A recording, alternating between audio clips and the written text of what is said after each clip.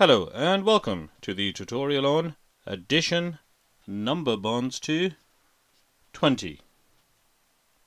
Now if you recall the number bonds to 10 we drew the numbers on the left hand side and we worked through a pattern.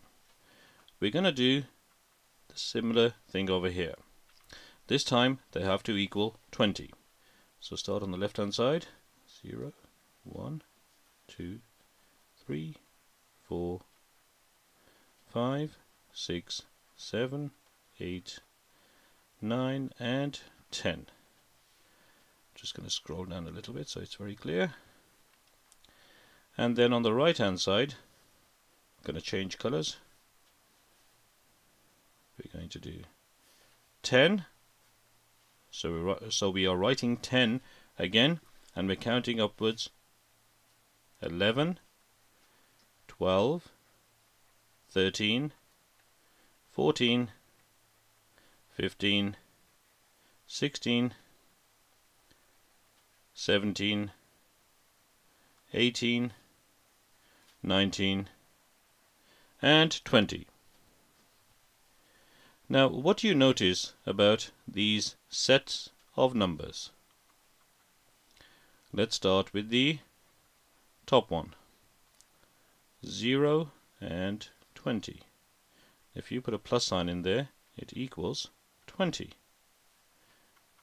Let's look at the next one. Go 1 and 19. Put another plus sign. That also equals 20. 2 and 18 equals 20. We keep going.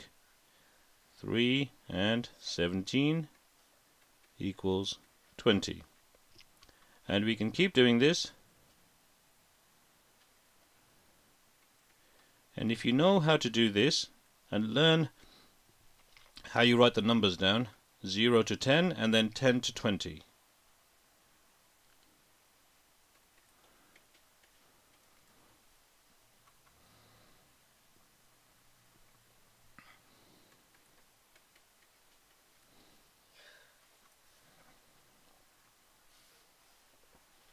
So we're down to 7 plus 13. Excuse me, 7 plus 13. The next one is 8 and 12. That also makes 20. Right, we're almost there.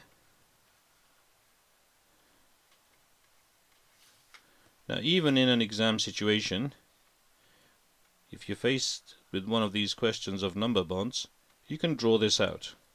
This is taking a bit of time because I'm changing colors, but ultimately, once you get the hang of this, you'll be able to write these out very, very quickly.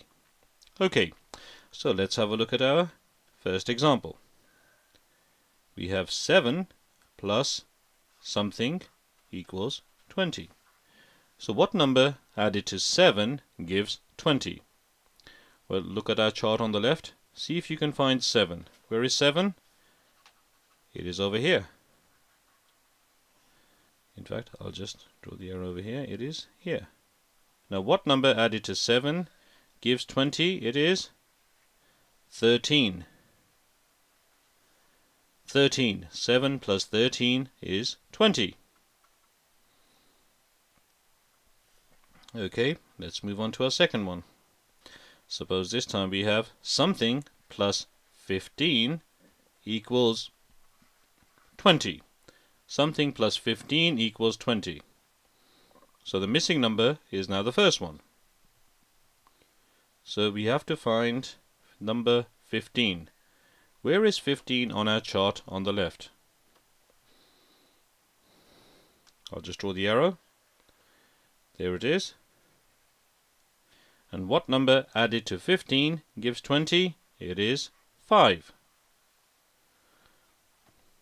There we go.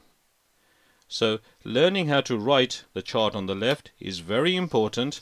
Once you learn how to do this, over a period of time, you will be able to memorize the two sets of numbers that make 20. Okay, and all of this comes with practice.